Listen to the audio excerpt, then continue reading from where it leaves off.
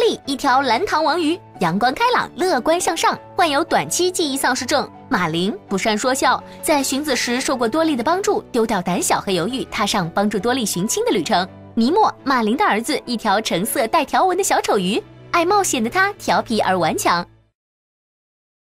在第一部结束后一年，总失忆的蓝糖王鱼多利跟小丑鱼父子成了邻居。有一天，他随尼莫去上学，路上遇到了举家迁徙的福红，勾起了他对家的向往。多莉决定去寻找自己的父母。在小丑鱼尼莫和他的父亲马林的帮助下，他从澳大利亚大堡礁来到了美国加州海岸。在海洋生物研究所，多莉遇到了一只脾气暴躁、经常让研究所雇员找得团团转的章鱼汉克。多莉掉进了那只写有“运儿”的装满鱼的桶子，并被喂食的工作人员倒进了运儿所在的水箱。韵儿是一头有严重近视眼的金鲨，它是多利多年的朋友。在多利向韵儿打探父母的消息时，认出了多利，并告诉他他的父母在深海奥秘展区。在这里，多利结识了一头白鲸贝利。贝利坚信自己的生物声纳技能出了问题。多利和汉克游到水面，寻找其他逃出去的办法。就在这时，马林父子也在焦急地寻找多利。最终，两父子在多利绝不放弃的精神鼓舞下，利用喷泉到达了隔离区。多利和汉克决定利用儿童车进入到展区。他们沿着路标的指引行进。不幸的是，半路上多利的健忘症又发作，走到了与深海奥秘展区相反的方向，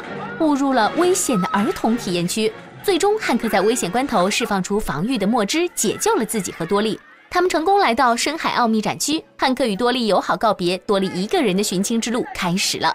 望着海底的贝壳，多莉回忆起小时候父母对她说过的话。跟着贝壳回家，途中遇到的小螃蟹告诉多莉，她的父母被送到了隔离区，并会被运到克利夫兰。健忘的多莉在管道中又一次迷路了。白金贝利利用生物声纳技能帮多莉去往隔离区，途中多莉与马林父子重逢了。在马林父子的鼓舞下，迷茫的多莉再次踏上了寻亲的路。三人顺利到达隔离区，其他的蓝糖王鱼却告诉多莉，他的父母早在几年前就失踪了。慌乱中，多莉被冲回了大海中。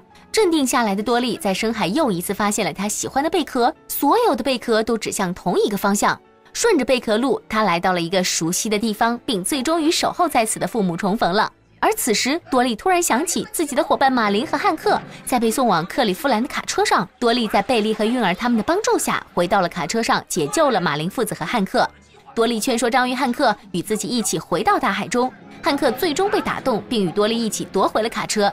他们驾着卡车，带着车上的鱼类，在海鸥的帮助下冲入大海。多莉与父母马林父子、汉克重新得到了自由，团聚在了一起。“快看电影”订阅号，输入电影名称就能看到完整版了。